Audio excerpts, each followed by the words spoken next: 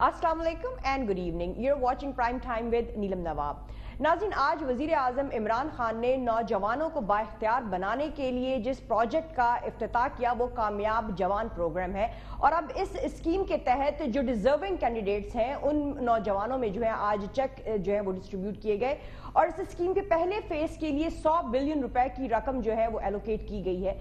ہم دیکھتے ہیں کہ آج اس اسکیم کے تحت جو ہے وہ رقم جب تنگ کی جا رہی تھی تو اس وقت وزیر اعظم نے اپنے خطاب میں کہا کہ حکومت کا کام لوگوں کو روزگار دینا ہے اور اس طرح کے پروگراموں کا دائرہ کار وزید بڑھایا جائے گا۔ ہم آگے چلتے ہوئے آپ کو سنوائیں گے کہ آج کیا کہا گیا اور ساتھ ساتھ ہم دیکھیں گے کہ جو سیاسی ماحول ہے اس میں بظاہر اس وقت خاموشی نظر آ رہی ہے، لیکن اتحادیوں کے بدلتے رویے اپوزیشن کے تو رویے بدل ہی چکے ہیں، لیکن اس کے ساتھ ساتھ جو اتحادیوں کے بدلتے رویے ہیں، اور پھر جو مسلم لیگ نون کی جو لیڈرشپ ہے، اس کی لنڈن ڈپارچر سے بھی بہت سے سوالات جنم لے رہے ہیں، اور نیپ بھی ایک بار پھر ایکٹیو ہوتی دکھائی دے رہی ہے۔ لاہور ہائی کورٹ کی اگر بات کریں تو لاہور ہائی کورٹ سے مریم نواز کو زمانت پر رہائی ملنے کے ایک ماہ بعد نیب نے مریم نواز کی زمانت منسوخی کے لیے سپریم کورٹ سے رجوع کر لیا ہے۔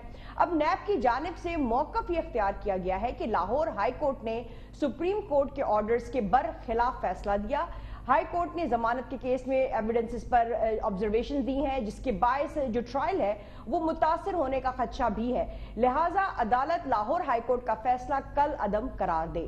اب یہ جو ریسنٹ ڈیولپمنٹ ہے، اس کے بعد سوال یہ اٹھ رہا ہے کہ نیب نے اگر مریم نواز کے خلاف کاروائی کرنی تھی، تو اس کے لیے ایک ماہ کی ڈیلے جو ہے، وہ کیوں کی؟ اور پھر نیب کی اس ڈیولپمنٹ کے بعد، اس پیش رفت کے بعد، جو ہے، کیا آگے ایسپیکٹ جو ہے وہ آتے ہوئے نظر آئیں گے؟ کیا انفولڈنگ ایونٹس ہوں گے؟ ہم اس کو بھی اپنے پروگرام کے ڈسکشن میں لے کر آئیں گے۔ اور پھر ساتھ ساتھ آج نیشنل اسمبلی کا سیشن ہوتا ہے، جس میں ہم دیکھتے ہیں کہ اپوزیشن نے پروڈکشن آرڈر پر بولنے کی اجازت نہ ملنے پر سیشن سے واک آؤٹ کر دیا۔ ان کے ساتھ ساتھ حکومت اپوزیشن کے ساتھ ساتھ حکومتی اتحادی اختر مینگل جو ہے انہوں نے بھی اس معاملے میں اپوزیشن کا ساتھ دیا اور اپوزیشن ممبرز کے ساتھ ہی وہ بھی اسمبلی سے واک آؤٹ کر گئے۔ اب اپوزیشن کا تو موقف ہے کہ جب تک اریسٹڈ ممبرز کو اسمبلی میں نہیں لایا جائے گا سیشن میں شرکت نہیں کریں گے، جبکہ جو پروڈکشن آرڈرز ہیں وہ ایشو کر دیے گئے ہیں اسپیکر نیشنل اسمبلی کی جانب سے بٹ اس کو امپلیمنٹ نہیں کیا گیا۔ تو اب یہ صورتحال کیا رخ اختیار کرے گی؟ ہم اس کو بھی انڈر ڈسکشن لے کر آئیں گے۔ But before we start our discussion we would like to introduce our honourable panel here ہمیں لاہور سے جوائن کر رہے ہیں جناب رانا ارشد صاحب، پاکستان مسلم لیگ نواز سے ان کا تعلق ہے، ان کے ساتھ تشریف فرما ہے جناب بریگیڈیئر ریٹائرڈ عمران ملک صاحب سینئر اینالسٹ ہے اور ان کے ساتھ تشریف ہمیں انفیکٹ اسکائپ سے جوائن کر رہے ہیں۔ جناب بیرسٹر عامر حسن صاحب پاکستان پیپلز پارٹی کے رہنما ہیں اور ہمیں ٹیلی فون بیپر پر جوائن کر رہی ہیں جناب ذل ہما صاحبہ، ممبر آف نیشنل اسمبلی ہیں پاکستان تحریک انصاف سے ان کا تعلق ہے۔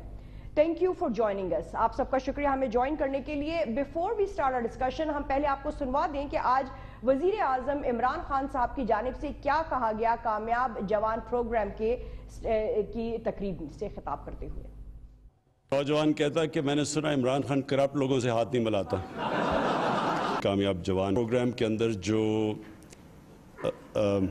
جو ہمیں سب سے زیادہ خیال رکھنا ہے وہ یہ کہ یہ یہ پروگرام کے اندر ٹرانسپیرنسی ہو یعنی ٹوٹلی میرٹ کے اوپر یہ ڈسٹریبیوٹ ہو چیکس۔ ایک لاکھ نوے ہزار خواتین نے لونز کے لیے اپلائی کیا اور بزنس پلان اپنے دیے۔ گورنمنٹس کا کام نوکریاں ایک معاشرے میں کریٹ کریں تاکہ لوگوں کو روزگار ملے۔ گورنمنٹ کا کام ہوتا ہے کہ ہر قسم کی وہ رکاوٹ روکیں وہ رکاوٹ ختم کریں جو بزنسز کے راستے میں آتی ہیں۔ وہ ملک آگے نکلتا ہے، جس کا میرٹ کا سسٹم بہتر ہوتا ہے۔ ورلڈ بینک کی ابھی رپورٹ آئی ہے کہ پاکستان نے اٹھائیس پوائنٹس اوپر گیا پاکستان ایک سال کے اندر۔ یہ بہت بڑی اچیومنٹ ہے۔ جی جیسا کہ بھی آپ نے وزیر اعظم کی تقریب سنی، ان کا خطاب سنا، اگر آپ لوگ ہمیں اجازت دیں تو ہم ضلع عمر صاحبہ آپ سے شروعات کر لیتے ہیں۔ اب یہ جو آج ہمارے سامنے وزیر اعظم عمران خان نے، جو یہ کامیاب جوان پروگرام کی اسکیم کا آغاز کیا ہے، پہلا فیس کہا جا رہا ہے، اس میں وہ کہتے ہیں کہ ایک لاکھ نوے ہزار خواتین نے اپلائی کیا ہے۔ اور پھر انہوں نے یہ بھی کہا ہے کہ ورلڈ بینک کی رپورٹ کے مطابق جو اٹھائیس پوائنٹس ہے پاکستان، اس میں اس کی رینکنگ بیٹر ہوئی ہے۔ یہ جو آج کا کامیاب جوان پروگرام ہے، اور پھر ہم نے دیکھا کہ جو ہاؤسنگ پروجیکٹ ہے۔ نیا پاکستان ہاؤسنگ پروجیکٹ، اس کا بھی افتتاح کیا وزیر اعظم نے، وہ بھی اپنے مراحل میں ہے آغاز کے۔ تو یہ جو پروجیکٹس لائے جا رہے ہیں، لانچ کیے جا رہے ہیں حکومت کی جانب سے، آپ کے مطابق یہ ان کے جو اثرات ہیں وہ کب تک ہمیں آتے ہوئے ایک عام شخصی زندگی میں داخل ہوتے ہوئے نظر آئیں گے؟ بسم اللہ الرحمن الرحیم۔ بہت بہت شکریہ آپ کو مجھے پروگرام میں لینے کے لیے۔ دیکھیں سب سے پہلے جو پرائم منسٹر صاحب نے الیکشن کے دوران بھی جو وعدے کیے تھے سب سے پہلے جو انہوں نے وعدہ کیا تھا کہ وہ اکانومی کو بہتر کریں گے، کیونکہ جس وقت انہوں نے، ہم نے پی ٹی آئی گورنمنٹ اقتدار میں آئی ہے، تو آپ نے دیکھا کہ مسلسل جو ہے نا وہ اکانومی بالکل کولیپس کر چکی تھی، معیشت بہت برے حال میں تھی ملک قرضوں میں ڈوبا ہوا تھا، ہمارے پاس سروائیول کے لیے بھی پیسے نہیں تھے۔ تو مختلف قسم کی تدابیر کی گئی اور ورلڈ بینک سے بھی رجوع کیا گیا۔ اور آہستہ آہستہ کر کے ان کی دن رات کی انت تک محنت سے جو پرائم منسٹر صاحب کی معاشی اسکیم ہے معاشی ٹیم جو ہے، ان سب لوگوں کی کوششوں سے حالات الحمدللہ بس حال پر ہم یعنی معیشت جو ہے وہ ایک، اس کو ایک ٹریک پہ ہم نے چڑھا دیا ہے اور الحمدللہ بہت اچھے طریقے سے، ہر روز آپ ایک اچھی خبر سن رہے ہیں اسٹاک ایکسچینج سے ریلیٹڈ اکانومی سے ریلیٹڈ بھی جو ہے تو ہماری اس کی بہت اچھی خبریں آ رہی ہیں۔ اچھا اس کے بعد، بہتر تھا لوگوں کو روزگار دینا۔ اور لوگوں کو روزگار دینے کے لیے ایک تو، جو ہمارے سب سے پہلے ہمارے پرائم منسٹر صاحب یہی چاہتے ہیں کہ جو غریب غربا ہیں ان کی رہائش اور ان کی زندگی کو آسان بنایا جائے۔ تو مختلف قسم کے پروگرامز انہوں نے شروع کیے ہیں۔ اس میں کامیاب جوان ہے جو ہماری یوتھ ہے۔ جی ہماری جو یوتھ ہے یہاں پر ایک سوال اٹھانا چاہوں گی۔ جی ضلع عمر صاحبہ، ایک سوال جو یہاں پر بنتا ہوا نظر آتا ہے، ہم دیکھتے ہیں کہ جو وزیر اعظم عمران خان صاحب ہیں، ان کا جو یہ نیا پاکستان ہاؤسنگ سکیم کا پروجیکٹ ہے ایک تو انہوں نے اس کو ٹیکس سے جو ہے سیلز اینڈ فکس ٹیکس سے جو ہے مستثنا کر دیا ہے ایگزیمٹ کر دیا ہے۔ اور اس سکیم کے تحت جو ایک اپارٹمنٹ ہے، اس کی پرائس انتیس لاکھ ایٹی فائیو تھاؤزنڈ ہوگی۔ اور ایک اپارٹمنٹ پر ٹوینٹی پرسینٹ ڈاؤن پیمنٹ جو ہے یعنی تقریباً جو کہ چھ لاکھ بنتی ہے، وہ ادا کرنی ہوگی، جو بھی فیملی اس کو لے گی۔ اب باقی کی جو رقم ہے، وہ تھرٹی سکس تھاؤزنڈ جو ماہانہ اقساط ہے اس میں جمع کروائی جائے گی یعنی منتھلی پیمنٹ پھر بنے گی تھرٹی سکس تھاؤزنڈ کی۔ تو اب اگر اس کو اوور آل دیکھیں تو یہاں پر اس کو اگر ہم بریک ڈاؤن کریں تو جو پرائس کی ماہانہ قسط آئے گی فیملی پر وہ بن رہی ہے تقریباً 36 ماہانہ کے ساتھ میں جمع کرائی جائے گی 36 ٹوٹل انسٹالمنٹس ہوں گی۔ اس حوالے سے پر منتھ 67,000 روپیز جو ہے وہ انسٹالمنٹ بنتی ہے ایک لو انکم فیملی کے لیے جو یہ نیا پاکستان کا ہاؤسنگ پروگرام ہے۔ تو اب یہ بتائیے گا کہ ایک عام شخص، آپ نے کہا ہے کہ یہ پروجیکٹ لو انکم فیملی کے لیے لانچ کیا جا رہا ہے۔ تو یہ کم آمدنی والے لوگ جو ہیں، یہ ماہانہ monthly instalment sixty seven thousand کہاں سے لے کر آئیں گے؟ ایک عام فرد کے لیے اس اسکیم سے پھر وہ کیسے فائدہ اٹھائے گا؟ بالکل آپ کے خدشات جو ہیں اس پہ میں سمجھ رہی ہوں۔ بات یہ ہے نا کہ دیکھیں، ہم لوگ، ایسا نہیں ہے کہ ہم اپنی تنخواہ سے ریگولر انکم سے ہم کٹوتی کرتے ہیں اور پھر ہم ان کے مطلب ہاؤسنگ اسکیمز میں یا مختلف جگہوں میں ہم اپنے پیسے انویسٹ کرتے ہیں۔ ہماری سیونگز جو ہوتی ہیں، ان میں سے ہم اس قسم کی اقساط ادا کر سکتے ہیں۔ ہمارے ہاں مطلب چھوٹی موٹی کوئی پراپرٹی ہوتی ہے کو مارگیج کر کے ہم لون لے سکتے ہیں اور اس طرح ہم ان کی اپوزیشن کا پرسپیکٹیو اس پر لے لیتے ہیں. اور رائٹ عمران ملک صاحب ہم آپ کی جانب آ جاتے ہیں. میں یہی کیلکولیشن آپ کے سامنے رکھ رہی ہوں کہ یہ اچھے انسینٹیوز ہیں اچھے پروجیکٹس ہیں جو حکومت کی جانب سے لائے جا رہے ہیں. بٹ دین ان کی پریکٹیکیلٹی کتنی ایک لو انکم فیملی کے لیے سوٹیبل ہوگی؟ ہم نے ابھی آپ کے سامنے پوری انسٹالمنٹ پلان جو ہے وہ بریک ڈاؤن کر کے رکھ دیا. تو کیا یہ ایک عام جو لو انکم فیملی ہے اس کے لیے یہ افورڈیبل ہے؟ جی بہت نوازش کی آپ نے پروگرام میں بلایا۔ دیکھیں، آپ آپ کی آبزرویشن تو ون ہنڈریڈ پرسینٹ کریکٹ ہے۔ اور اگر ایک یہ لمٹ رکھی گئی تھی کہ وہ فیملیز اس کے لیے اپلائی کر سکتے ہیں جن کی ٹوٹل انکم ہی پچیس ہزار روپیہ مہینہ کی ہے، تو وہ sixty seven thousand rupees per month کہاں سے لائیں گے؟ میرے خیال میں گورنمنٹ کو اپنی یہ پالیسی جو ہے اس کو ری وزٹ کرنا پڑے گا۔ اور لازمی کرنا پڑے گا بیکاز اس کے بغیر یہ اسکیم چل ہی نہیں سکتی ہے۔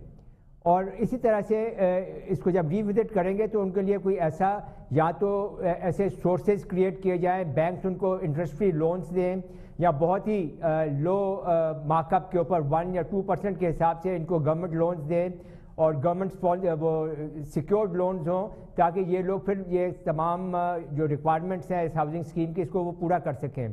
یہ اس طرح سے اناؤنس تو ہو گیا ہے مگر اس کو میرے خیال میں گورنمنٹ کو ہر حالت میں ری وزٹ کرنا پڑے گا اور اس کو وائبل اور پریکٹیکل بنانا پڑے گا۔ ایک بات تو یہ۔ دوسری بات یہ ہے کہ اور جن فیملیز کے لیے اس انسینٹیو کو لیا گیا ہے وہ اس کے فائدہ بھی اٹھا سکیں۔ آپ مکمل کر لیجیے گا۔ جی میں دوسری بات یہ کرنا چاہ رہا تھا کہ یہ جو اسکیم انہوں نے ابھی اناؤنس کی ہے اس پہ میرے خیال میں ان کو انٹرپرونورشپ تو اچھی بات ہے کہ یہ اس کو انکریج کر رہے ہیں۔ مگر اس سے پہلے ان کو سکلز ڈیولپمنٹ کا ایک پروگرام بھی سٹارٹ کرنا چاہیے کہ جن لوگوں کو جو اتنے لونز دے رہے ہیں، ان کے پاس سکلز بھی ہونی چاہیے ان لونز کو صحیح طور پہ استعمال کرنے کے لیے۔ ہمارے پاس ساٹھ فیصد ہماری آبادی جو ہے وہ تھرٹی ایئر سے کم ہے۔ مگر ان میں الٹریٹس بھی ہیں سیمی ایجوکیٹڈ بھی ہیں سیمی سکلڈ بھی ہیں uh, ایجوکیٹڈ بھی ہیں اور ہائیلی کوالیفائڈ لوگ بھی ہیں اور ٹیکنیکلی کوالیفائڈ لوگ بھی ہیں۔ تو ان سب کو سیپریٹ بلاکس میں سیپریٹ کیٹیگریز میں توڑ کے اس کے بعد ان کو لونز دیں۔ اور ان پروجیکٹس کے لیے لونز دیں جو کہ پاکستان کے نیشنل آبجیکٹیوز ہیں۔ For example like the housing scheme اور فار سی پیک ان کے پروگرامز میں یہ لوگ شامل ہوں اور نہ صرف یہ کہ وہ پروگرامز ہم یہاں پر کوئک بریک لیں گے۔ بریک سے ہم واپس آ کر اپنی ڈسکشن کو آگے کی جانب دوسرے ٹاپکس پر بھی موو آن کریں گے۔ ناظرین stay with us will be right back after short break welcome back ناظرین ہم اس وقت بات کر رہے ہیں جو ہمارے سامنے اس وقت کرنٹ سنیریو ہے، اس میں حکومت کی جانب سے پروجیکٹ در پروجیکٹ جو ہے، وہ لانچ ہوتے نظر آ رہے ہیں۔ موڈیز کی ریٹنگ بھی تھوڑی بہت ہمارے حوالے سے، پاکستان کی اکانومی کے حوالے سے آؤٹ لک میں بہتر کر دیا گیا ہے سٹیبل کر دیا گیا ہے۔ ایٹ دا سیم ٹائم جو انٹرنل پالیٹکس ہے، جو سیاسی محاذر آئی ہے یا سیاسی ماحول ہے، اس پر اگر دیکھا جائے تو آج مریم نواز کے خلاف نیب کی اپیل میں جو اپیل کی گئی ہے، اس میں نیب کی جانب سے پرسپیکٹو موقف اختیار کیا گیا ہے کہ لاہور ہائی کورٹ نے سپریم کورٹ کے آرڈرز کے خلاف فیصلہ دیا ہے اور ہائی کورٹ نے ضمانت کے کیس میں ایویڈنسز پر آبزرویشنز دی، جس سے ٹرائل متاثر ہونے کا خدشہ ہے۔ لہٰذا عدالت لاہور ہائی کورٹ کے فیصلے کو کل عدم قرار دے۔ اب مریم نواز صاحبہ جو ہے وہ اس وقت ضمانت پر رہا ہیں، لیکن وہ سیاسی طور پر بالکل ایکٹیو نہیں ہے بڑی خاموش ہیں، انہوں نے ایک لو پروفائل رکھی ہوئی ہے۔ سوال آج یہاں پر یہ اٹھ رہا ہے کہ آخر نیب کو ایک ماہ بعد کیوں خیال آیا اس اپیل کو دائر کرنے کا؟ رانا ارشد صاحب، اگر آپ کو ہماری آواز آ رہی ہو تو آپ رسپونڈ کر دیجیے گا اس کوئسٹن پر۔ جی بسم اللہ الرحمن الرحیم۔ میں فرسٹ آف آل تو آپ کا شکریہ ادا کرتا ہوں، آپ کے چینل کا شکریہ ادا کرتا ہوں اور آپ کا سوال بڑا ویلڈ ہے۔ اور اس سے پہلے صرف تیس سیکنڈ کے لیے جو آپ کا پہلا ٹاپک تھا نوجوانوں کے لیے جو پرائم منسٹر صاحب نے اسکیم دی، تو میں انتہائی ادب سے عرض کروں گا کہ وہ اسکیم فیزیبل نہیں۔ اور جو پچاس لاکھ گھر بننے تھے، ڈیڑھ سال میں تو بیس لاکھ لوگوں کے گھر گرا دیے گئے ہیں۔ نیا گھر ملا نہیں۔ اور جس کی پچیس ہزار انکم ہے پر منتھ، آج بجلی چھبیس پیسے پر یونٹ دوبارہ مہنگی ہو چکی ہے۔ پانچ دن پہلے دسمبر کے لیے ہی ایک روپے تریاسی پیسے بجلی مہنگی ہوئی تھی۔ تو ایک ہفتے میں دو دفعہ تو بجلی مہنگی ہو چکی ہے۔ اور جیسے شیخ حفیظ صاحب نے فرمایا کہ ستارہ روپے کلو ٹماٹر ہیں۔ اور اسی طرح یہ پروگرام بھی اگر ٹماٹر واقعی ہیں تو پھر یہ پروگرام بھی فیزیبل ہے اور جیسے پچپن روپے ہیلی کیپٹر پر کلومیٹر کا کرایہ ہے اور اس کے اخراجات ہیں، تو پھر میں سمجھتا ہوں کہ یہ تمام چیزیں جو ہیں، یہ انتہائی عرض سے عرض کروں گا کہ اس میں حکومت کا جو ایٹیچوڈ ہے وہ سیریس نہیں ہے۔ اور یہ لوگوں کو ڈرامے دکھا دکھا کر میں سمجھتا ہوں کہ لوگوں کو پریشان کر رہے ہیں۔ بے روزگاری منگیائی پھر آپ نے بات کی، مریم بی بی کی۔ لیکن آپ نے فرمایا ایک مہینے بعد ان کو یاد کیوں آیا نیب کو؟ یہ تو صرف ایک ماہ بعد آیا ان کو تو ایک سال بعد جو پہلی سزا معاف ہوئی تھی، اس کے ایک سال بعد انہوں نے کورٹ میں چلے گئے تھے کہ ہم اس کو دوبارہ ریویو کروانا چاہتے ہیں۔ تو میں انتہائی ادب سے یہ کرنا چاہتا ہوں، آج نیب جو ہے، اس کی کریڈیبلٹی جو ہے، وہ ایک کوشچن مارک ہو چکی ہے۔ اور آج ان کو پرویز کھٹک صاحب کے کیس نظر نہیں آئیں گے۔ آج جو پشاور ہائی کورٹ نے metro B R T Peshawar کی بات کی، اور اس پر انہوں نے پینتالیس دن کے لیے ایف آئی اے کو ڈائریکشن دی، تو آج موجودہ حکومت جو ہے، ہائی کورٹ کے خلاف سپریم کورٹ جا رہی ہے کہ بی آر ٹی کی بات کوئی نہ کرے۔ اور وہاں پر میں سمجھتا ہوں کہ جو بیس طرف سے منصوبہ شروع ہوا تھا سورب کے قریب پہنچ چکا ہے۔ اس ایسپیکٹ کو انڈر ڈسکشن جو ہے اس کے سارے ایسپیکٹس کو کلیئر کر لیں۔ یہاں پر عمران والک صاحب کیا فرمائیے گا یہ ایک ماہ بعد آخر نیب کو جو ہے کیوں خیال آ گیا؟ کیوں ان کو چیلنج کرنے کا اب جو ہے خیال آیا؟ مریم نواز کے حوالے سے کیا انہیں یہ خدشہ ہے کہ مریم نواز جو ہے وہ دوبارہ پولیٹیکلی جو ایکٹیو نہ ہو جائیں؟ خیال میں ایسی بات نہیں ہے اور جہاں تک لا انفورسمنٹ کی بات ہے، میرے خیال میں اصل ایشو پاکستان میں لا انفورسمنٹ کا ہے۔ پاکستان میں قانون کی سپریمیسی تو بہرحال لازمی ہے اور اس کو اسٹیبلش ہونا چاہیے۔ بٹ جب پاکستان میں آپ کسی بھی وجہ سے لا میں ایکسیپشنز کریٹ کرتے ہیں، تو پھر اسی طرح سے یہ تمام معاملات جو ہیں، یہ جنم لیتے ہیں اور وہ جو ایک پرسیپشن ہے کہ کچھ طبقوں کے لیے ایک قانون ہے اور جو دوسرے کم انفلوئنس والے طبقے ہیں، ان کے لیے قانون مختلف ہیں۔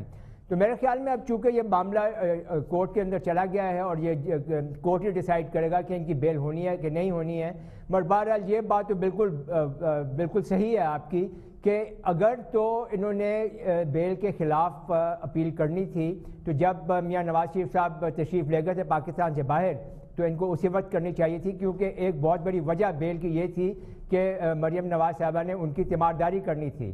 جب وہ وجہ نہیں رہی، تو پھر ان کو بیل کے خلاف ایکٹیویٹ ہو جانا چاہیے تھا۔ ایک بات تو یہ اور دوسری بات آپ نے کہی وہ لنڈن کے میں جو ان کی جو بات چیت ہو رہی ہے میرے خیال میں وہ اس وقت جو حالات جا رہے ہیں وہ اس قسم کے ہیں کہ ان کو مل کر مل بیٹھ کر اپنے اگلا جو لائے عمل ہے اس کے بارے میں سوچنا پڑے گا۔ میاں نواز شریف صاحب کی ٹریٹمنٹ جاری ہے اس کے بارے میں بھی بات ہوگی۔ میاں شہباز شریف صاحب کی جو پراپرٹیز یہاں پہ انہوں نے کانفیسیکیٹ کی ہیں اور جو ان کے اکاؤنٹس کے بارے میں بات رہے ہیں۔ پر کر رہی ہے۔ ہم یہاں پر بیرسٹر عامر حسن صاحب اگر آپ کو ہماری آواز آ رہی ہو ہم دیکھ رہے ہیں کہ جو آج کل ماحول ہے اس میں شہباز شریف صاحب بھی بلاول بھٹو بھی ان ہاؤس تبدیلی کی بات کرتے ہیں۔ جبکہ شیخ رشید کہتے ہیں کہ ان ہاؤس تبدیلی یہ کیا کریں گے؟ یہ سینٹ چیئرمین کی تو تبدیلی کر نہیں سکے۔ اور پھر کن گراؤنڈز پہ اپوزیشن ان ہاؤس تبدیلی کی بات کر رہی ہے؟ جب ہمارے سامنے نواز شریف، شہباز شریف لنڈن میں بیٹھے ہوئے ہیں زرداری صاحب جو ہیں، انہوں نے میڈیکل گراؤنڈز پر بیل اپلائی کی ہوئی ہے۔ تو یہ ان ہاؤس تبدیلی کے لیے آخر اپوزیشن اتنی شورٹی سے کیسے بات کر رہی ہے؟ لیکن ان ہاؤس تبدیلی کی ابھی بہرحال پاکستان پیپلز پارٹی بات نہیں کر رہی ہے، لیکن ان ہاؤس تبدیلی سب سے آسان کام ہے، آپ سمجھ رہے ہیں کہ کیسے ہو سکتی ہے۔ چار پانچ ووٹوں پہ یہ حکومت ٹکی ہوئی ہے اور جو اس کے اتحادی ہیں وہ خود انہیں چھوڑنا چاہتے ہیں۔ حکومت ان کی کبھی نہ کبھی انہیں وزارتیں دے کے اور ان کے منتیں کر کے اسے، انہیں ساتھ رکھنے کی کوشش میں ہے۔ ابھی کل جو سپیچ کی ہے بلوچستان کے ان کے اتحادی مینگل صاحب نے اور جس طرح انہوں نے کہا ہے کہ میں حکومت کو کو لگتا ہے کہ ہم چھوڑ دیں گے۔ اسی طرح ایم کیو ایم کے، ان کے ساتھ جو معاملات ہیں، پی ایم ایل کیو کے ہیں، تو ہم تو نہیں ان ہاؤس تبدیلی آنا چاہتے، لیکن ہاں گورنمنٹ کے جو الائز ہیں، وہ ان ہاؤس تبدیلی کے لیے چاہتے ہیں اور وہ اس کے لیے آئیں گے بھی۔ اب بات آگئی، آپ نے جو کہا کہ لیڈرشپ ہے، دیکھیں لیڈرشپ اگر جیلوں میں ہے، اگر پریزیڈنٹ زرداری جیل میں ہے، تو اس کا کیا مطلب ہے کہ ہم ان ہاؤس تبدیلی کے لیے نہیں کر سکتے؟ پاکستان پیپلز پارٹی کی قیادت بلاول صاحب کر رہے ہیں اسمبلی کے اندر، سیاست کے میدانوں کے اندر، اور آصف علی زرداری صاحب جرت اور حوصلے کے ساتھ ایک دفعہ پھر جیسے انہیں عامریتوں کا سامنا کیا ہے، جنرل مشرف کے آٹھ سال جیل میں گزارے ہیں، انہوں نے میاں نواز شریف کے دور کے اندر جیل کاٹی ہے، تو وہ اسی حوصلے اور جرت کے ساتھ جیل کے اندر ہیں۔ اور جہاں تک میڈیکل گراؤنڈ کے اوپر آپ نے بیل کہا جہاں پہ غیر انسانی بیرسٹر عامر حسن صاحب لیکن ایز این اپوزیشن آپ لوگ متحد تو نظر نہیں آ رہے۔ الیکشن کمیشن کے جو ممبرز تھے سندھ اور بلوچستان کے ممبرز پر کے حوالے سے پاکستان پیپلز پارٹی اور نون لیگ کے درمیان ہی کنسنسس نہیں ہو پایا۔ حکومت کے ساتھ کنسنسس ہونا تو ایک الگ سٹیج ہوگی۔ بٹ آپ کے تو آپس میں جو کنسنسس نہیں ڈیولپ ہو پایا۔ نہیں، یہ کوئی ایسا ایشو نہیں ہے۔ جب یہ پورا چیف الیکشن کمشنر کا بھی ایشو آئے گا اور دونوں ممبرز کا جب ایشو آئے گا اپوزیشن میں کوئی ڈیفرنسز نہیں ہوں گے۔ ہم لوگ یہ حل کر لیں گے اور اس پہ کوئی اتنا بڑا ایشو نہیں ہے۔ گورنمنٹ اس چیز کو بڑھانے کی کوشش کرتی ہے۔ لیکن میں جو نیلم صاحب ضروری بات کرنا چاہتا ہوں، جو آپ نے پہلے سوال کیا تھا، لیکن آپ میری طرف نہیں آئیں کہ یہ گورنمنٹ جو گھر بنا کے اور sixty seven thousand per month جو انسٹالمنٹ کے ساتھ اور پھر وہ کہہ رہے ہیں لو انکم یعنی کہ غریب لوگ اس حکومت کے نزدیک وہ ہیں جو سڑسٹھ ہزار روپے کی قسط دے سکتے ہیں اپنے تمام خرچے کرنے کے بعد۔ تو اس سے آپ کو سمجھ آئے گی کہ جو پرانا پاکستان تھا اس ہاؤسنگ سکیم میں رائٹ یہ نہیں صرف ری وزٹ ہونے والا ان کا پورا اب تو میں کہتا ہوں یہ دماغی طور پہ پتہ نہیں کس جگہ پہ رہتے ہیں۔ اگر ان کے قریب لو انکم لوگ وہ ہیں کہ جن کی کوئی ڈیڑھ لاکھ روپیہ انکم ہے جس میں سے سڑسٹھ ہزار روپیہ وہ ایک انسٹالمنٹ بھی دیں گے گھر کی تو آپ اس سے اندازہ لگائیں کہ اس لیے اس حکومت کو ٹماٹر سترہ روپے نظر آتے ہیں اور ساڑھے تین سو روپے ہوں تو ان کے لیے کوئی بڑی بات نہیں ہم پوچھ لیتے ہیں یہاں پر حکومت سے ضلع ہما صاحبہ اور عامر حسن صاحب آپ کی جانب ہم آئیں گے۔ آپ مکمل کریے گا جلدی۔ جی میں صرف یہ کہنا چاہتا ہوں کہ جو بارہ سال پہلے کی ہماری حکومت تھی اس دور کے اندر مزدور، غریب، کسان، عام آدمی اور عام آدمی کی تنخواہوں میں ہم نے ڈیڑھ سو فیصد اضافہ کیا۔ پیپلز پارٹی جانتی ہے کہ اس ملک کے اندر اسی فیصد لوگ اپنی روح اور جسم کا رشتہ ان کے لیے رکھنا مشکل ہے۔ اور یہ پتہ نہیں کن آسمانوں سے یہ حکومت عذاب کی صورت میں نازل ہوئی ہے کہ یہ لوگوں کے لیے مزاق گناؤنا مزاق کہہ رہے ہیں۔ ہم پوچھ لیتے ہیں یہاں پر ضلع ہما صاحبہ۔ عامر حسن صاحب آپ کی جانب آئیں گے۔ ضلع ہما صاحبہ یہاں پر ایک تو آپ رسپونڈ کر دیجیے گا جو ریزرویشنز اپوزیشن کے ریپرزنٹیٹیوز کی جانب سے اٹھائی گئی۔ دوسرا آج ہم دیکھتے ہیں کہ جو نیشنل اسمبلی کا سیشن ہوتا ہے اس میں اپوزیشن سوال اٹھاتی ہے کہ جو اسپیکر کی جانب سے ایشو کر دی گئے ہیں پروڈکشن آرڈرز اس پر کیوں نہیں امپلیمنٹیشن ہو رہی؟ اور پھر ہم دیکھتے ہیں کہ اپوزیشن کے ساتھ ساتھ جو آپ کے ایلائیڈ ہیں اختر مینگل صاحب، وہ بھی واک آؤٹ کر گئے ہیں۔ تو یہاں پر حکومت کو نہ صرف یہ کہ آنے والے دنوں میں اپوزیشن کا ساتھ چاہیے ہوگا، آپ کے اوپر کورٹ آرڈرز بھی ہیں۔ آپ نے ایشورنس دیے کورٹس کو کہ آپ لیجسلیشن کریں گی، ترمیم کریں گی۔ Chief army of chief of army staff کے حوالے سے، ان کی مدت ملازمت کے حوالے سے، آپ کے تو اپنے ایلائز جو ہیں وہ آپ کے ساتھ نہیں کھڑے ہو رہے۔ تو یہ آپ کے سامنے کس طرح کا سٹرکچر آ رہا ہے؟ کیسے آپ لے کے چلیں گے سب کو؟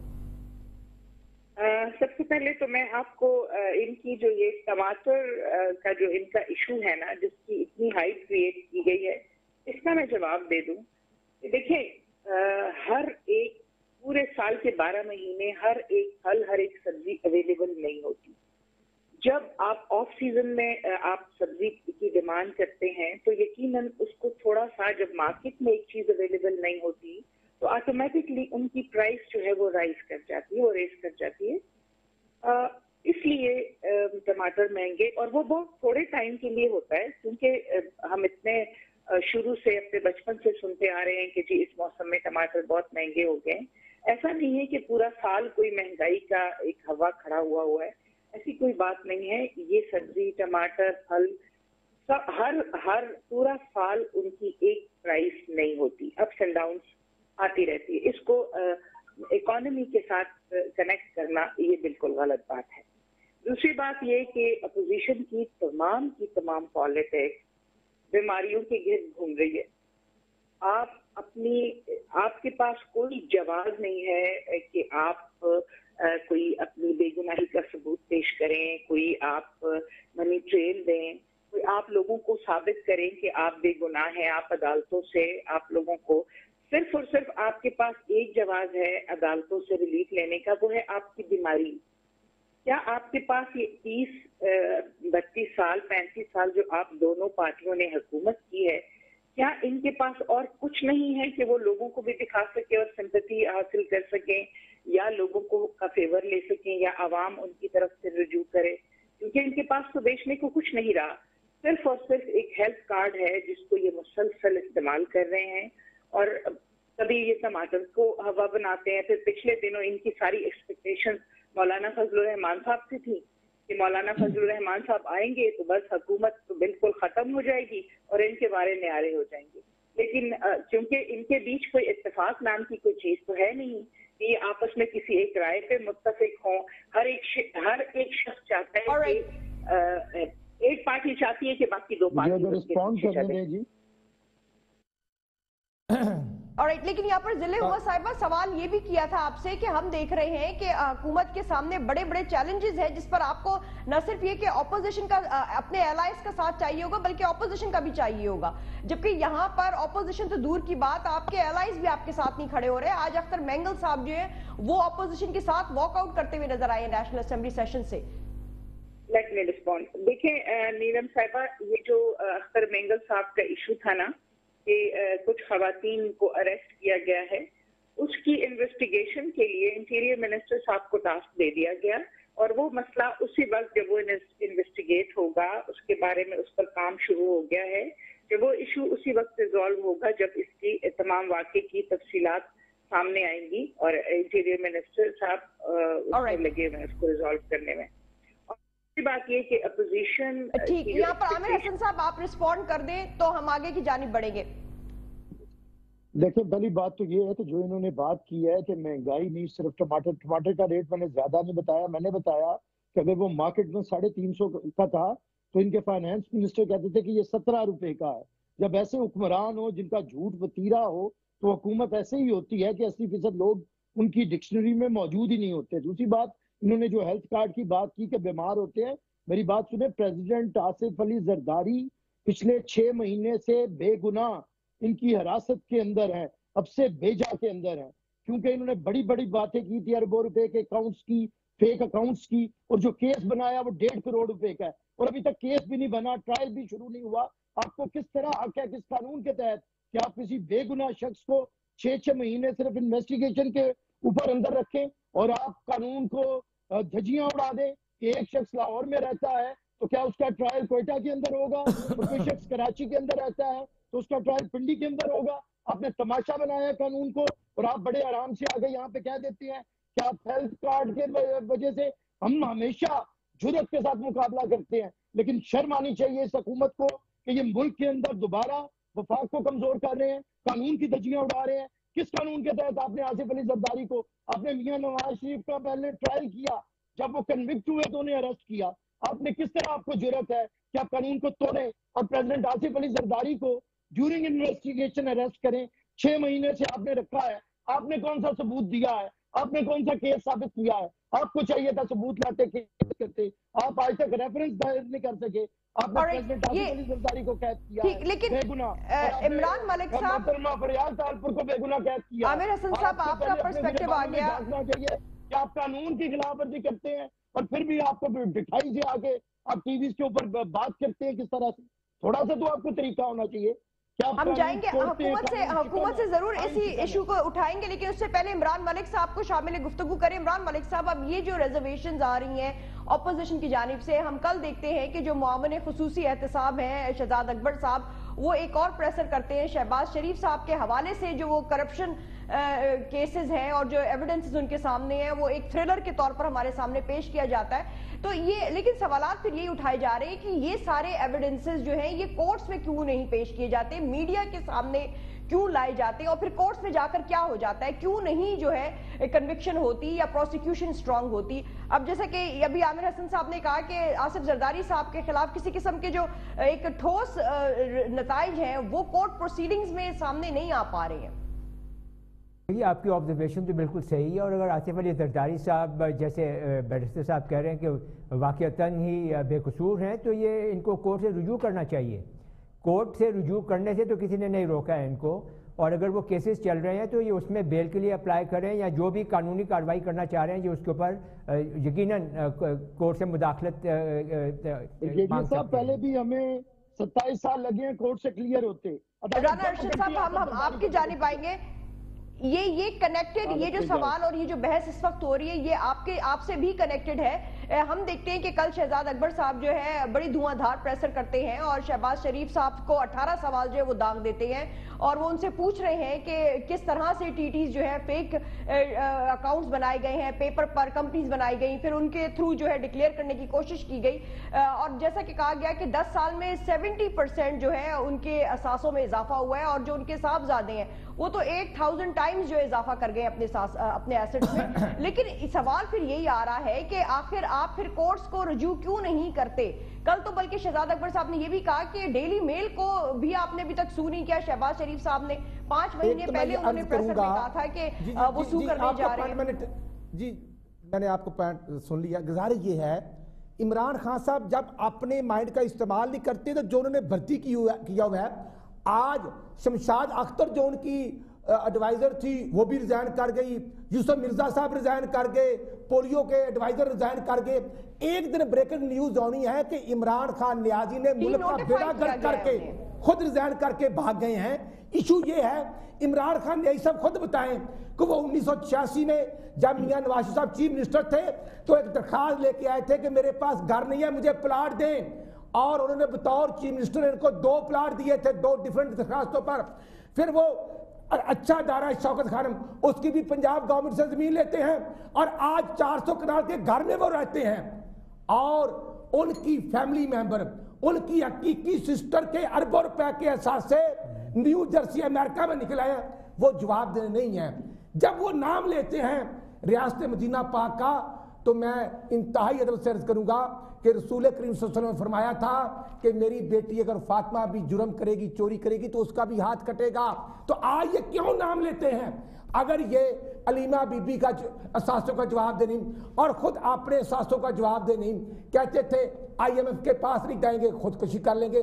پھر کہتے ہیں کہ میں نے یو ٹرن لیتے لیتے جھوٹ بولتے بولتے میں پرائم منسٹر بن گیا ہوں۔ اور یہی میرا فن ہے تو میں عرض کروں گا آج غریب رو رہا ہے آج پنجاب کے اندر پچاس ہزار جو ڈینگی کے مریض ان کو میڈیسن نہیں مل رہی۔ کینسر کے مریض رو رہے ہیں۔ اور اس سے بڑھ کر اگر چار سو روپے کلو ادرک ہو چکا ہے۔ پونے چار سو روپے تھوم ہو چکا ہے سبزی اور دالیں اتنی مہنگی ہو چکی ہیں۔ یہ شوکت یہ یہ ترین صاحب جو ہیں جہانگیر ترین صاحب جو ہیں وہ فلٹیلائزر زمین دار آج رو رہا ہے۔ سر مجھے آدھا منٹ پلیز دے دیں آدھا منٹ۔ آج زمین دار رو رہا ہے۔ تیرہ سو کی چوریے کی بوری تھی۔ آج اکیس سو کی کر دی ہے ترین صاحب نے۔ اور ڈی اے پی کی بوری جو چوبیس سو کی تھی آج وہ تھٹی سو کی ہو گئی ہے۔ میں یہ کرنا چاہتا ہوں کہ یہ پورا پاکستان آئی ایم ایف کو ہینڈ اوور کر دیا گیا۔ یہ کہتے ہیں بھئی سٹاک ایکسچینج تو الحمدللہ نواشی کے دور میں چون ہزار انڈیکس پر تھی۔ بھئی سونا فی تولا اکاون ہزار تھا آج چانوے ہزار ہو چکا ہے۔ عمران نیازی صاحب اور ان کی نالیات ٹیم نے پاکستان کا بیڑا گر کر دیا رانا ارشد صاحب آپ کا مائک ہمیں شٹ ڈاؤن کرنا پڑے گا۔ ضلع ہما صاحبہ، اب جیسا کہ یہاں بات ہو رہی ہے، آپ نے ریزرویشن بھی سنی ہے انفلیشن کی اگر بات کر لی جائے اور بجلی کی قیمتوں کی اگر بات کر لی جائے تو اس میں آج بھی اضافہ ہوا ہے پر یونٹ اور انفلیشن کی اگر بات کر لیں تو وہ تو پچھلے نو سال میں ہائیسٹ رینکنگ پر ہے، اس وقت 12.7 پرسنٹ پر۔ اور پھر احسن اقبال صاحب جو ہیں، انہوں نے بھی آج اعلان کیا اپنی ٹویٹ میں کہ مسلم لیگ نون بجلی کی قیمتوں میں اضافے اور مہنگائی کے خلاف جو ہے آٹھ دسمبر کو ملک بھر میں احتجاج کرے گی۔ تو سوال اب یہ سامنے آ رہا ہے کہ اپوزیشن یا عوام جو ہے، اگر یہ اٹھ کھڑی ہوتی ہے مہنگائی کے خلاف، تو انفلیشن کو ٹیکل کرنے کے لیے حکومت کیا کرتی نظر آ رہی ہے؟ پہلی بات تو یہ کہ حکومت اکانومی کو بہتر کرنے کے لیے جو اقدامات اٹھا رہی ہے اس کے ثمرات تو آپ کے سامنے ہیں۔ ہر دوسرے دن کوئی نہ کوئی ایک اچھی گڈ نیوز آپ سن رہے ہیں اور لوگوں کی امیدیں لوگوں کی ہوپ بڑھ گئی ہیں۔ لوگ انویسٹ کرنا چاہ رہے ہیں اکانومی بہتر ہو رہی ہے۔ ڈالر جو ہے وہ نیچے آ رہا ہے روپے کی قدر مستحکم ہو رہی ہے۔ یہ ساری چیزیں جو ہیں اچھائی کی طرف لے کے جا رہی ہیں۔ حالات کو دوسری بات یہ کہ جب آپ کی اکانومی اسٹیبل ہوگی، روپے کی قدر جو ہے مستحکم ہوگی، تو یقیناً بجلی کے ریٹ کے اوپر بھی اس کا اثر پڑے گا۔ یہ جو شور مچا رہے ہیں اتنا زیادہ، ان سے صرف یہ پوچھنا چاہوں گی کہ یہ اتنی انہوں نے بڑا لمبا چوڑا ٹینیور گزارا اپنا تو انہوں نے کتنی انویسٹمنٹ کی ہے بجلی کو لے کر؟ کہاں کہاں پہ دیکھتے ہیں وعدے کرنے کے اور انہوں نے کوئی گراؤنڈ کے اوپر کوئی کچھ بھی نہیں تھا ماں سوائے دن رات اپنے اور اپنے خاندان کے اثاثوں میں اضافہ کرنے کے۔ اور انہوں نے کوئی ایسا کام نہیں کیا جس سے عوام کو زمین پر آئیں ملتا۔ یہ وکی پاور اسٹیشن ہم نے بنایا الحمدللہ بارہ ہزار میگا منصوبہ بجلی۔ یہ قصور میں ہٹ بلو کی حویلیہ بہادر شاہ جنگ اور سائی لال میں۔ الحمدللہ شباز شریف کی بک میں۔ پانچ ہزار تو ایک صوبے وہ- بجلی پیدا کی تھی۔ اور انہوں نے ایک میگا واٹ صرف بجلی پیدا کی ذات کو اور ان کے خاندان کو فائدہ ملے۔ انہوں نے عوام کے لیے سوچا ہوتا تو آج آج ہمیں کٹہرے میں کھڑا ہو کر respond کر رہے ہیں۔ چاہیے تو یہ کہ آپ اور اپنی انتظار ضرور رہے گا لیکن ہمیشہ لیکن یہاں پر ہمیں۔ انتظار ضرور رہے گی۔ کہ جو یہ پاکستان اکانومی کے حوالے سے۔ یہ عام انسان کی جو پریکٹیکل لائف ہے اس میں کہاں تک اثر انداز ہوتا ہوا نظر آئے گا۔ اثر کرتا ہوا نظر آئے گا؟ ہم جو ہے ڈیڑھ سال میں اور صاحبہ آپ کا پرسپیکٹیو آ گیا۔ عامر حسن میرے صاحب پاس۔ ٹھیک۔ جی اب مجھے اگر موقع دیں عامر حسن صاحب اب یہ چیف جب الیکشن کمیشن کے حوالے سے اگر بات کر لی جائے تو چیف، ہم آپ کی جانب آئیں گے، رانا ارشد صاحب ہم آپ کی جانب آئیں گے بٹ عامر حسن صاحب جو ایک اور بڑا چیلنج اس وقت ہمارے سامنے ہے، وہ چیف الیکشن کمیشن کی جو ہے ریٹائرمنٹ ہو چکی ہے، اور ریٹائرمنٹ کے بعد اب ہم دیکھ رہے ہیں کہ الیکشن کمیشن کے جو سینئر ممبر تھے، الطاف ابراہیم صاحب، انہوں نے ایک قائم مقام الیکشن کمیشن کا اوتھ جو ہے وہ اٹھا لیا ہے۔ اب یہ جو نئے الیکشن کمیشن کے لیے، چیف الیکشن کمیشن کے لیے اور جو ممبرز ہیں، ان کے اپوائنٹمنٹس کے لیے حکومت اور اپوزیشن میں ابھی تک جو اتفاق سامنے نہیں آ پایا ہے اور پارلیمانی کمیٹی کا اگلا سیشن دسمبر نائنتھ کو ہونے والا ہے۔ تو کیا آپ کو لگ رہا ہے کہ کسی قسم کا کنسنسس یا جو اتفاق کے رائے ہے وہ آ جائے گا نائن دسمبر جو ہے؟ فائنلی ہمارے سامنے جو الیکشن کمیشن ہے وہ فنکشنل ہوتا ہوا نظر آئے گا۔ میں سمجھتا ہوں کہ یہ جو گورنمنٹ آئی ہے، یہ اپنے آپ کو کانسٹیٹیوشن سے بھی اوپر سمجھتی ہے اور پارلیمنٹ سے بھی اوپر سمجھتی ہے۔ اسی لیے ملک کے اندر اس وقت کانسٹیٹیوشنل کرائسس ہے پارلیمنٹری کرائسس ہے، ملک کے اندر گورننس کا کرائسس ہے اکنامک کرائسس ہے۔ اور یہ پتہ نہیں کس طرح آ کے جھیٹ بن کے باتیں کرتے ہیں۔ یہ کہتے ہیں کہ اکانومی بڑی اچھی ہو گئی۔ آئیں ذرا باہر سڑکوں اور گلیوں کے اندر۔ عمران نیازی کو کہیں آئیں ذرا نکلے تو صحیح نا۔ اور ایک گلی کے اندر آ کے لوگوں کے اندر بیٹھے، ان کا حلیہ بگڑ جائے گا۔ لوگ جتنا انہیں جھولیاں اٹھا اٹھا کے بدوائیں دے رہے ہیں۔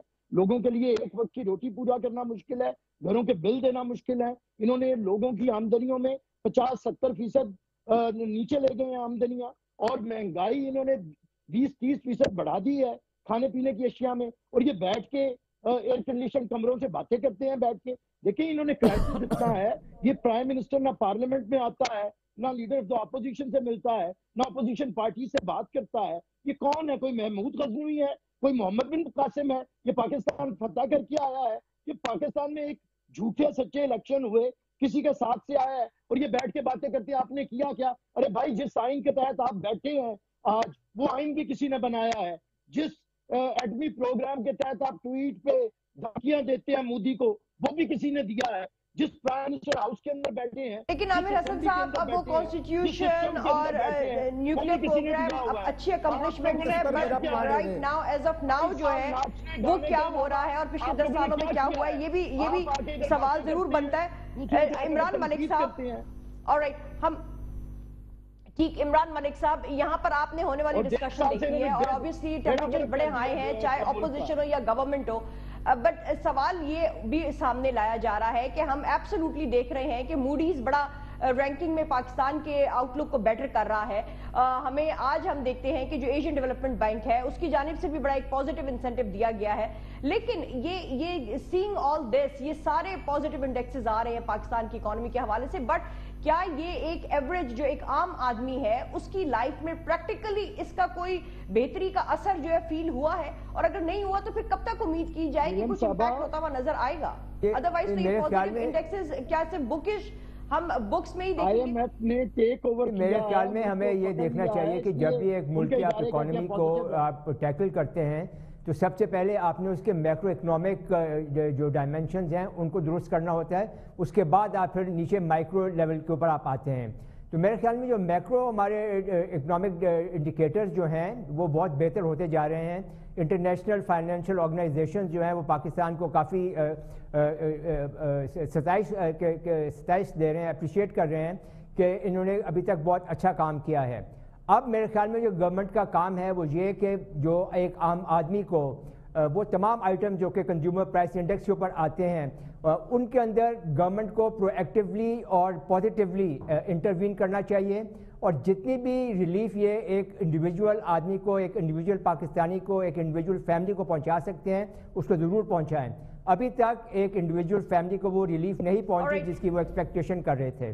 تو میرے خیال میں نیکسٹ سٹیپ ان کا یہ ہونا چاہیے کہ اگر میکرو اکنامک اسٹیبلٹی آ گئی ہے تو اب نیشنل لیول پہ آ کے مائکرو لیول کے اوپر آ کر انڈیویجول فیملیز اور انڈیویجول لوگوں کو ریلیف پرووائڈ کریں۔ اور بہت بہت شکریہ عمران ملک صاحب آپ کا رانا ارشد صاحب آپ کا عامر حسن صاحب آپ کا اور ذلِ ہما صاحبہ آپ کا ہمیں جوائن کرنے کے لیے۔ ناظرین جیسا کہ دیکھا کہ ہمارے سامنے جو پروجیکٹس در پروجیکٹس آتے ہوئے نظر آ رہے ہیں وہ ایک اچھا انسینٹیو ہے اچھا کام ہے لیکن کیا وہ پریکٹیکلی ڈویبل ہو پائیں گے؟ جس مقصد کے لیے وہ لانچ کیے جا رہے ہیں؟ میں دوبارہ سے ایک آپ کے سامنے وہ جو اسکیم ہے نیا ہاؤسنگ پاکستان کی اس میں جو انسینٹیو دیا گیا ہے اس میں ایک اپارٹمنٹ کی ٹوٹل پرائز جو ہے وہ 29 لاکھ 85,000 دی گئی ہے جس کے مطابق 6 لاکھ جو ہے ان کو ڈاؤن پیمنٹ دینا ہوگا بیس پرسنٹ بنتا ہے اور اس کے بعد انہیں 36 منتھ تک چھتیس ماہ تک 67,000 پر منتھ کی قسط ادا کرنی ہوگی اور یہ جو ہاؤسنگ پروجیکٹ ہے یہ کہا جا رہا ہے کہ اس کے لیے پچیس سے تیس ہزار ماہانہ جو آمدنی والی فیملیز ہیں وہ بھی اپلائی کر سکیں گی۔ لیکن اب سمپل کوشچن یہ ہے کہ جس فیملی کی total income per month thirty thousand rupees ہے وہ کہاں سے per month sixty seven thousand کی جو انسٹالمنٹ ہے وہ دے سکے گی۔ اس کو ڈیفینیٹلی ری وزٹ کرنا چاہیے۔ آج کے لیے اتنا ہی۔ See all tomorrow night until then اپنا اور اپنے پاکستان کا بہت خیال رکھیے گا۔ اللہ حافظ اینڈ گڈ نائٹ